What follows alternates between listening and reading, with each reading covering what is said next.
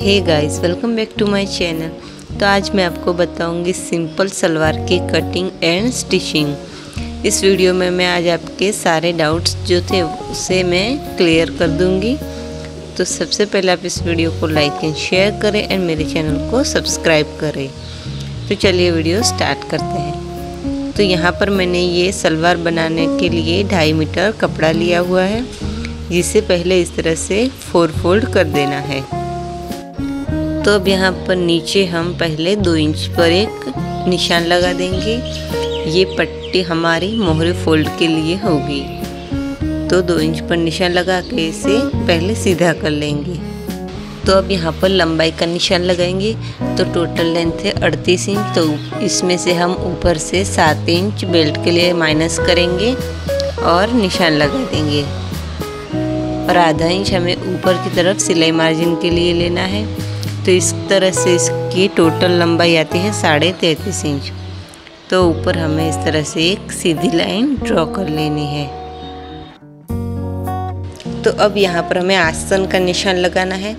तो उसके लिए आपको एक ट्रिक ध्यान रखनी है कि आपका जो भी हिप साइज़ है, उसे तीन से पहले डिवाइड कर लेना है और फिर उसमें दो इंच प्लस कर लेना है।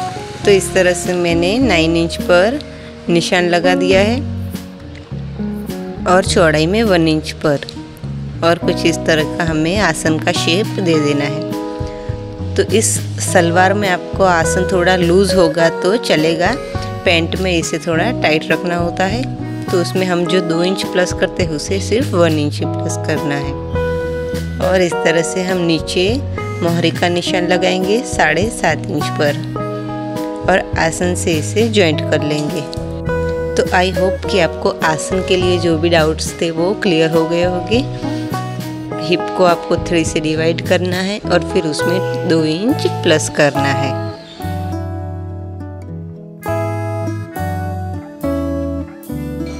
और यहाँ पर नीचे हम इस तरह से क्रॉस में एक लाइन ड्रॉ करेंगे, जिससे जब हम मोहरी फोल्ड करेंगे तो अंदर का कैनवास से वो बाहर नहीं दिखेगा।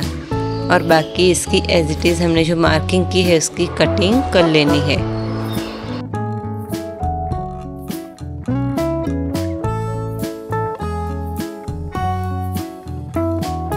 तो अब यहाँ पर जो ट्रायंगल जैसा पीस बचा है, उसमें से हम बेल्ट की कटिंग करेंगे।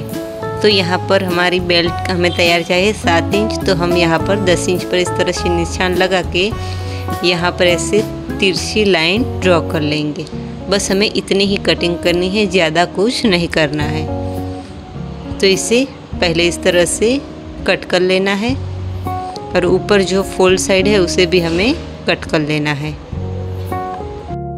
तो यहाँ पर हिप साइज़ से चालीस इंच और बेल्ट हमें चाहिए फोर्टी फोर इंच का तैयार चाहिए। और बाकी हमने सिलाई मार्जिन लेते हुए टोटल हमने इसकी जो लंबाई रखी है, वो रखी है 25 इंच। ऐसे दोनों 25-25 इंच के आपको इस तरह से बेल्ट तैयार करने हैं। तो इसे जॉइंट करने के लिए आपको जो तिरछा वाला पार्ट है, उस तरफ़ से जॉइंट करना है और छोटा पार्ट और बड़ा पार्ट दोनों को कुछ इस तरह से रखते हुए इसके ऊपर सिलाई लगा देनी है।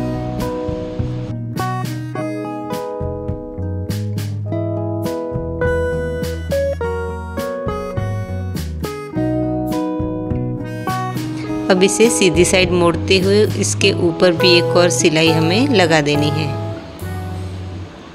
तो यहाँ पर एकदम ऐसे आसान तरीके से ये बेल्ट का शेप आ जाएगा रेक्टेंगल जैसा हमारा पीस बन जाएगा।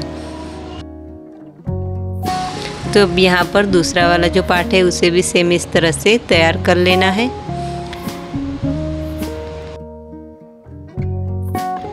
तो अब यहाँ पर हम दोनों पार्ट को ऐसे डबल फोल्ड करके कुछ इस तरह से बिछा देंगे। अब इसकी लंब, चौड़ाई हमें रखनी है दस इंच। तो हमें सात इंच का तैयार बेल्ट चाहिए तो हम दस इंच रखेंगे। और फिर बेल्ट तैयार करने के बाद अगर कुछ कम ज़्यादा होता है तो हम इसे काट लेंगे। पर अभी हम इसे दस इंच रख रहे हैं। और इसकी चौड़ाई इस तरह से रखनी है बारह इंच। तो यहाँ पर हमारा जो नाप होगा वो 11 इंच का होगा और एक इंच हमने सिलाई मार्जिन के लिए लिया है। तो इस तरह से हमारे जो टोटल लेंथ है, हिप की वो 40 इंच है। तो हम, हमें बेल्ट को 44 इंच का तैयार रखना है और बाकी हमें वन इंच सिलाई मार्जिन के लिए लेना है। तो सबसे पहले हम दोनों पार्ट्स को इस तरह से जॉइंट कर लेंगे।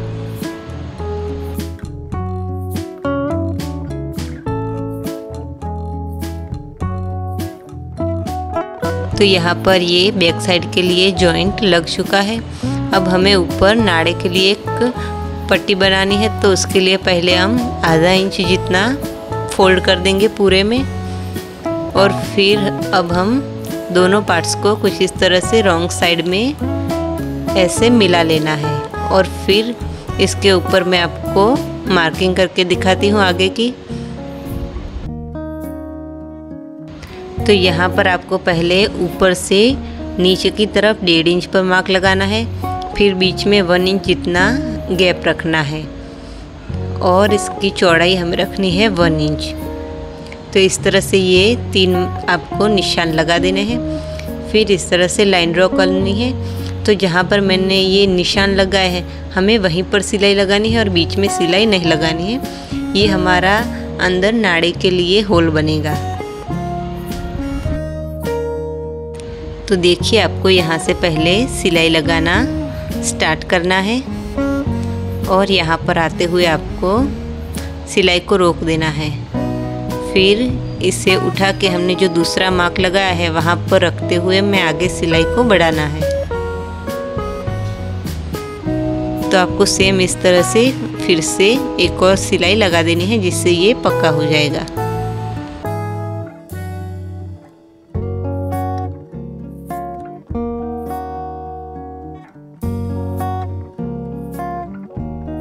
अब बीच में से इस धागे को काट लेना है और फिर इसे कुछ इस तरह से खोलना है और फिर दोनों साइड हमें सिलाई लगा देनी है।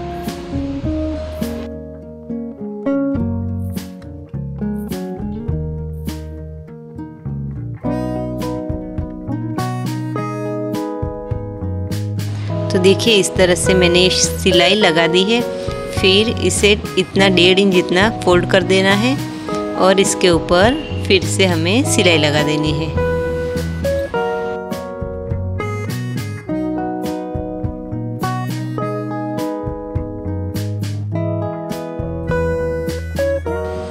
तो यहाँ पर ये ऊपर नाड़ा डालने के लिए ये पट्टी तैयार हो चुकी है। अब हम नीचे से कपड़े को इवन कर लेंगे और अगर आपको सात इंच से यहाँ पर ज़्यादा बनता है तो आप निशान लगाकर उसे काट भी सकते हैं। मेरा यहाँ पर फिक्स आ रहा है।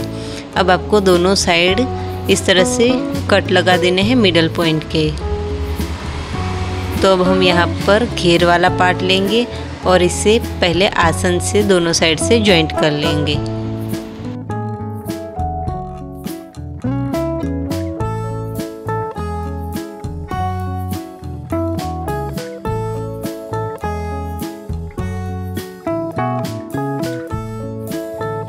तो आगे अब हमें इसमें प्लेट्स डालनी है। तो इसके लिए मैंने ऊपर वाला बेल्ट लिया है और आगे की साइड से यहाँ पर हम इस तरह से रखेंगे नीचे वाले पार्ट को मिलाते हुए।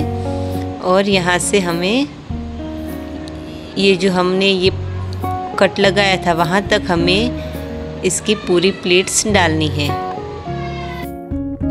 तो यहाँ मैंने जो घेर है, उसको भी चार पार्ट में डिवाइड करके कट लगाए थे और इस तरह से बेल्ट में भी चार पार्ट करके कट लगाए थे। तो इन चारों पार्ट्स को हमें मिलाते हुए हम प्लिट्स लगाएँगे तो ये सारी प्लिट्स इवन लगेगी।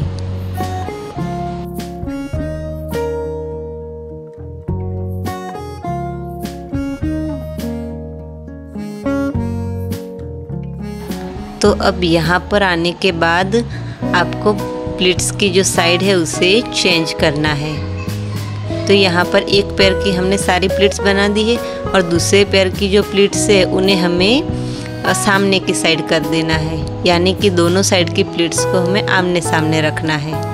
ये इस तरफ़ है तो इसे हमें कुछ सामने की साइड इस तरफ़ रखना है। और ऐसे प्लेट्स बनाते हुए हमने जो मिडल पॉइंट के लिए कट बनाए हैं, वहाँ तक आपको मेज़रमेंट लेते हुए प्लेट्स बना देनी है।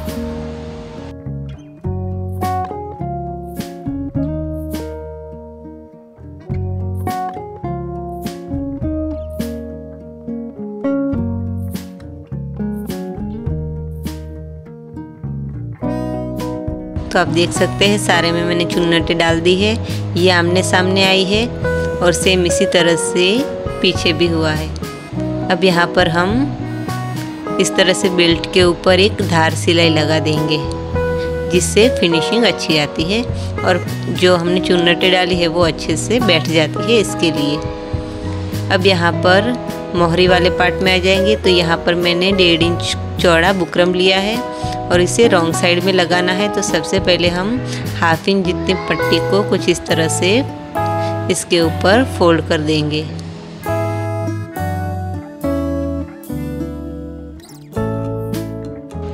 और फिर इसे एक और बार फोल्ड करके इसके ऊपर सिलाई लगा देंगे।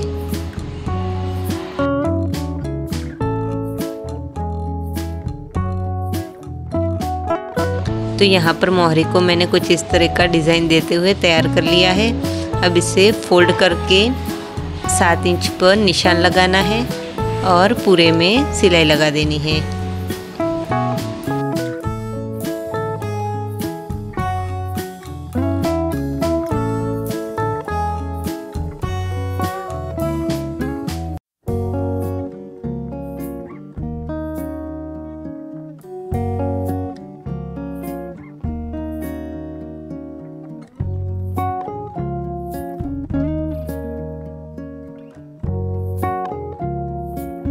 तो यहाँ पर ये हमारा सलवार तैयार हो चुका है।